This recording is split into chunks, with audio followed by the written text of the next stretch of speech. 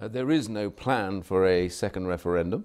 Now, governments, as I say, can change things if they wish. But to be on, honestly, I would say to everybody and anyone that's watching this, the choice is simply, are we going to leave or stay in on that date? And then we're bound by that. Just how does it feel? I mean, as a loyal cabinet minister yep. who's been in the cabinet since 2010, um, how does it feel to suddenly find yourself completely at odds with the leader of your party and the Prime Minister? Well, it's not easy. Uh, it's never going to be easy when you take a decision to uh, not to back your government. It's particularly difficult if you're in cabinet where collective responsibility is ultimately the thing. You agree in cabinet and then you're bound by that. This is unusual, but then it's unusual times. You're responsible for benefits. Yeah. Benefits have played a very big part in the renegotiation, and you've been pretty clear you don't think what the Prime Minister negotiated is going to make a very big difference, correct? Well, it depends whether you believe that uh, actually this is the main reason why people are coming here. My general view is there is a limited effect. There's always been a limited effect. Some migrants do come here for the benefits, I'm sure.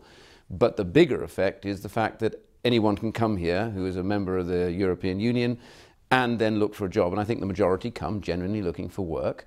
Uh, and it's the problems of the scale of that that displaces communities, causes problems in schools. And that's where my concern is. It's not against migration, it's against the scale of migration and limiting it and therefore controlled migration is the issue, which we can't, of course, do under the treaties of the European Union.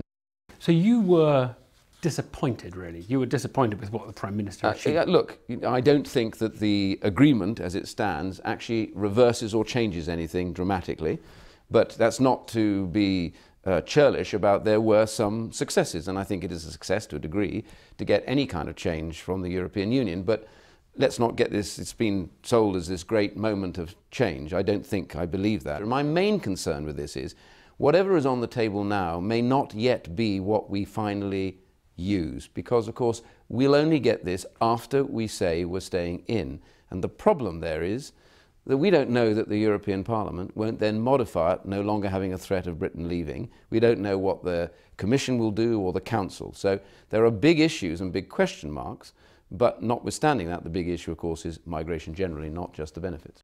Can I ask if you stand by your remarks over the weekend in which you brought up the subject of Paris-style attacks? And I, I suppose I'm quite interested in what changes if we leave the EU and why we would be safer from a Paris-style attack. But you stand by what you said.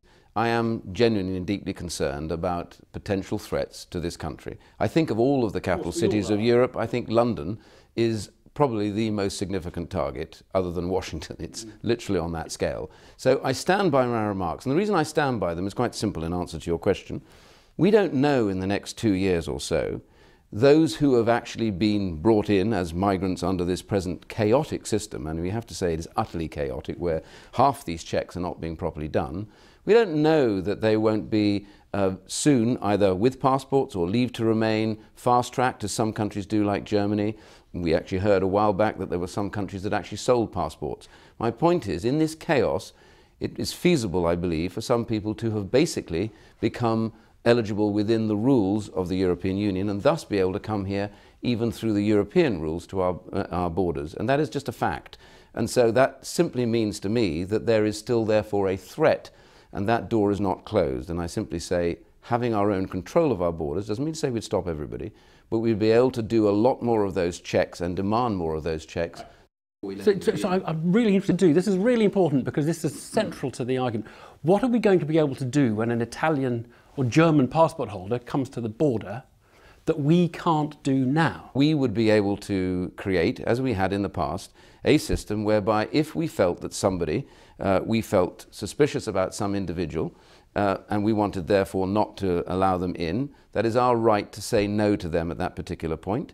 We may also be able to demand further background, further background checks done. We may be able to interrogate. Well, but we're not going to require visas no, from Germany it, and Italy, it, it isn't a reality that we require visas. My point is, being in control allows us to decide how we make that check. How do we do it and how but much what are we do we stopped do? from doing now that you would like us to do? That's what I want to know. Well, if we feel that somebody is not uh, what we consider to be a reasonable individual, right. we can refuse entry. And how, we can't do that how would we have information about them other than what we would have about them now? Well, there are lots of different ways that you get information about people. This is all part of the exchange of information that we want to have, which we have anyway as bilateral arrangements, rather like we have with the United States, where we decide whether people can be uh, allowed in or not. And we know lots of people. We saw what the Paris attacks were about. There were people who had not been checked. But, but you see, when you talk of a Paris attack, I think people might picture bombers in Brussels coming through by car as they drove straight to Paris because there's a borderless zone. But we have a border. We do explosives checks when you come on the tunnel. Lots of things. We have two people well. standing at Dover checking the cars yeah. as they come through. It's not the same, yeah. is it? It's but, completely you know, different. We talked about the intelligence arrangements between France and Belgium, but that, those aren't good enough to be able to stop the Paris attacks. I mean, when you made the comment about Paris, you, you were up against really quite a lot of quite a senior security, yeah. let's call them the establishment, the security establishment who have taken a very different line. Rob Wainwright, the head of Europol, takes a very different line. We've had comments from a former MI5 director who takes a, a very different line. Who, I suppose this is a, a, an impertinent question, but who should the public believe on this? Should they believe you or should they believe well, they don't have to believe anybody, they just have to make their own judgment about this. Do they think that what I'm saying, if we control our borders, on balance, it is more likely that we will be more secure. I think, frankly, it is impossible to argue that we won't be. It is bound to be that we would have an added element of security. What they're actually arguing may be on a wider case. I'm simply saying right now, if we think we want a bit more security, I think controlling our own borders, and most people watching this would agree with me, I think, means that we would have a greater likelihood of being more secure. I say, simply leave it at that. Iain Duncan Smith, thank you very much.